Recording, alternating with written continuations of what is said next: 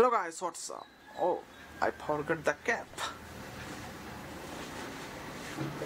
So, hello guys, it's Asif here again and today I am gonna talk about a great camera and it is the most underrated camera in 2021 and it will be the most underrated camera in 2022 as well. None of the photographers, videographers who are beginners look for this particular camera. But this is a great camera.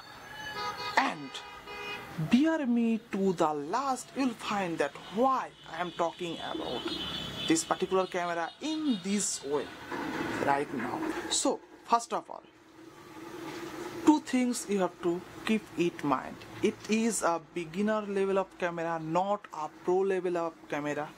And it is for them who are new to the interchangeable lens camera system. Maybe they are using some old DSLR system or some point and shoot camera or their phone camera in general.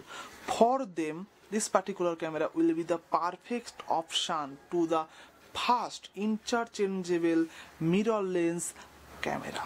So the camera is the Fujifilm X-E4. I think you guys know about this particular camera. So let's see the details that why I am talking like that.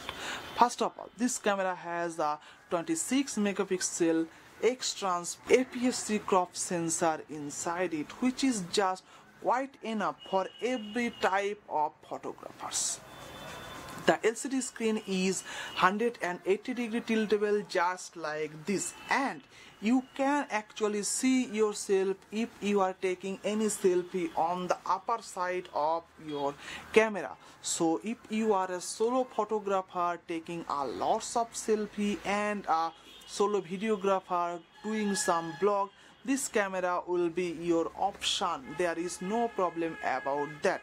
And i know if there are totally articulate screen that will be much better than this but this camera can offer that so it is quite good I will say now for videography this camera offers a 4K video capability up to 30p and 240p slow motion video up to 1080p so for first time users this is quite enough and I will say more than enough for them.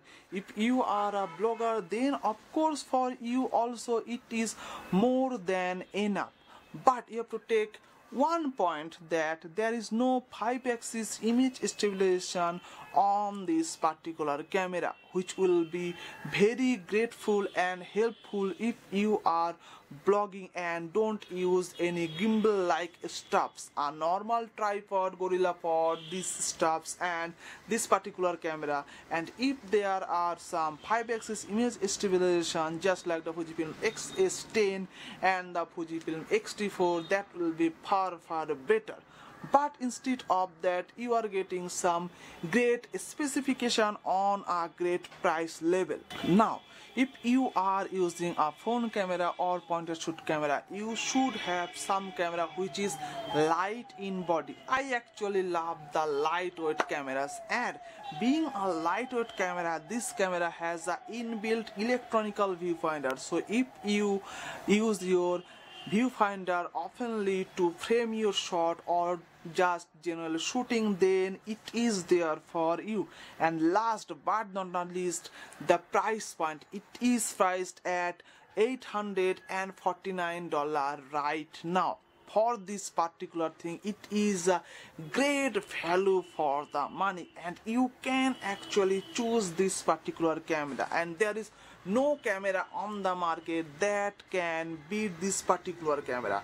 The contenders are the Nikon Z50 the Sony a6400 and the Canon EOS M6 Mark II but if you just go on the B&H website and compare these particular four cameras side by side this particular camera will be top of the list. And I think this camera will win most of the cases between these particular four cameras. And for this I think if your budget is less than $900 and if you are a photographer plus videographer hybrid like stuffs just like me you should buy this particular camera. It will be a great value for the money.